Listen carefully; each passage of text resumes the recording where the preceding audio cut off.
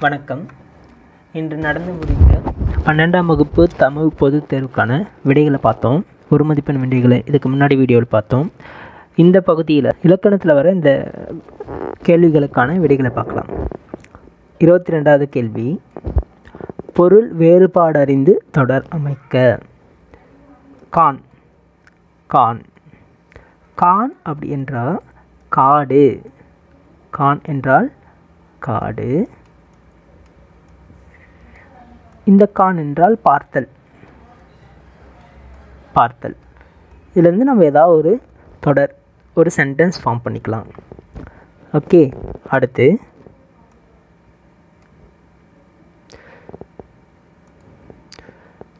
இருபத்தி மூன்று தொடரில் உள்ள மரபு பிழைகளை நீக்கி எழுதுக.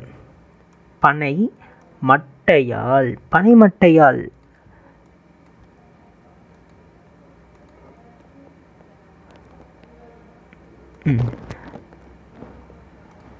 பனைமட்டையால் கூரை வைத்திருந்தனர் வேய்ந்திருந்தனர். மட்டையால் இல்ல பனை ஓலையால் பனை ஓலையால் கூரை வேய்ந்திருந்தனர் வேய்ந்திருந்தனர். சரிங்களா? இதுதான் சரியான விடை. திருந்தனர்.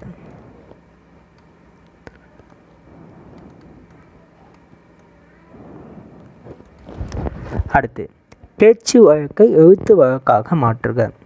பிள்ளைக்கு உடம்பு சரியில்லை. மூணு நாளாக சிரமப்படுது. இங்கே பாருங்கள் பிள்ளைக்கு அப்படி இல்லை பிள்ளைக்கு. உடம்பு சரியில்லை. மூணு அது வந்து மூன்று அப்படின்னு மாற்றிக்கணும் மூன்று நாளா அப்படின்னு இருக்கு பாருங்கள் அது நாளா அல்ல நாட்களாக. எப்படி? நாட்களாக. சிரமப்படுகிறது.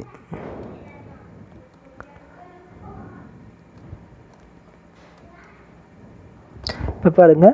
பிள்ளைக்கு உடம்பு சரியில்லை. மூன்று நாட்களாக சிரமப்படுகிறது. படுது அப்படின்னு இருக்கு படுகிறது அப்படின்னு மாற்றணும் சரிங்களா? அடுத்து.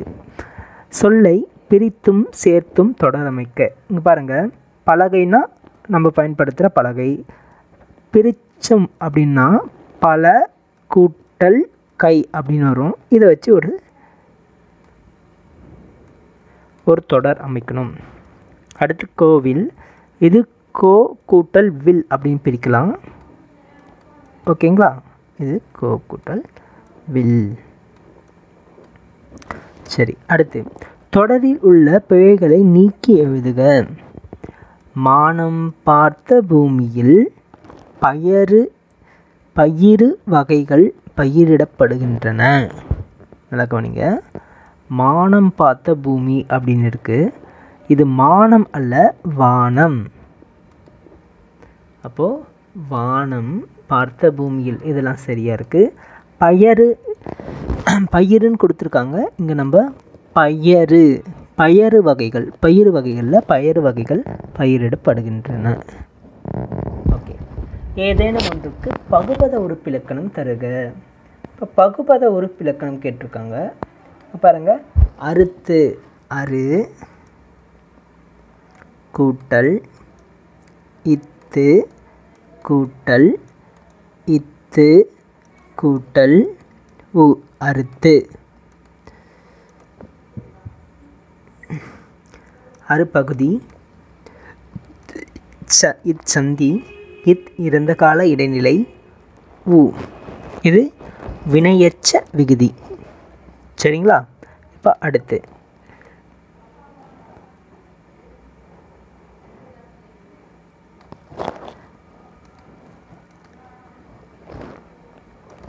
அடுத்து பாருங்க கண்டான். கண்டான கான் அப்படின்னு பிரிக்கணும். கான் தான் வந்து நமக்கு வேர்ச்சொல். அதனால் இது கான் கலர் சரியில்லை. ப்ராக்கெட்டில் கண் அப்படின்னு எழுதணும். கான் கான் ப்ராக்கெட்டில் கண் கூட்டல் இட் கூட்டல் ஆண். ஓகேங்களா? கான் தான் பகுதி இந்து வந்து விகாரம். இட் இறந்த கால இடைநிலை. ஆண் ஆண்பால் வினைமுற்று விகுதி. அடுத்து ஏதேனும் ஒன்றனுக்கு புணர்ச்சி விதி தருக. புணர்ச்சி விதி இப்போ பாருங்க. முன் உடை முன் உடை எப்படி பிரிக்கலாம்னா முன் கூட்டல் உடை அப்படின்னு எழுதலாம். ஓகேங்களா இப்போது இந்த ஊ வந்து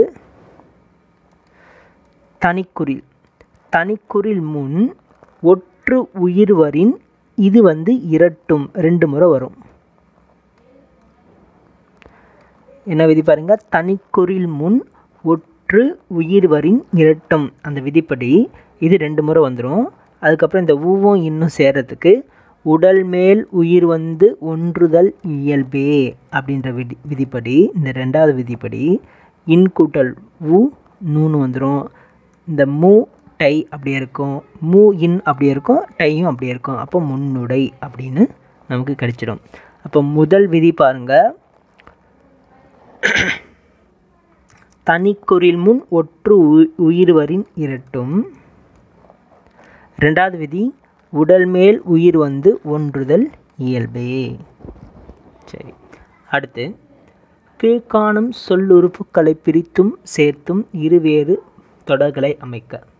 இப்போ முன். அவன் முன் வந்து நின்றான். அவன் முன் வந்து நின்றான். முன் வந்து முன்னாடி வந்து நின்றான். அவன் முன் வந்து நின்றான். அவனுக்கு முன்னாடி வந்து நின்றான். நல்லா பாருங்க. அவன் முன் வந்து நின்றான் அப்படின்னா அவனுக்கு முன்னாடி வந்து நிற்கிறான் அவன் முன் வந்து நின்றான். அவன் ஏற்கனவே வந்து நின்றுட்டான் இப்போ இந்த அவன் முன் அப்படின்னா அவனுக்கு நேருக்கு நேராக அவனுக்கு முன்னாடி வந்து நிற்கிறான் அப்படின்ற பொருள் தரும். அவன் முன் வந்து இந்த இடத்துல ஒரு கேப் விட்டு எழுதணும் அப்படின்னா அவன் ஏற்கனவே வந்துட்டான் அப்படின்னு பொருள்படும். இந்த இடத்துல அவன் முன் வந்து நின்றான் அப்படின்னு சேர்த்து எழுதணும்னா அவனுக்கு நேர் எதிராக அந்த மாதிரி பொருள் தர மாதிரி வரும்.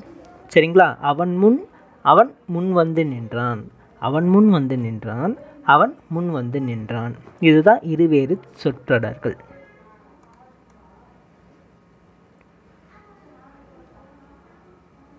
ஓகே. Mobile banking biography. என்ன கேட்குறாங்க கலைச்சொற்கு சொல்லாக்கம் தருக.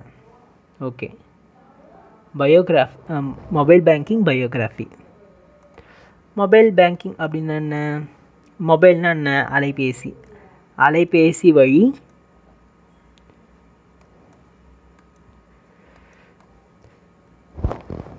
பண பரிமாற்றம் அப்படின்னு எழுதிக்கலாமா? அடுத்து பயோகிராஃபி பயோகிராஃபின்னா என்ன? வாழ்க்கை வரலாறு. சரிங்களா?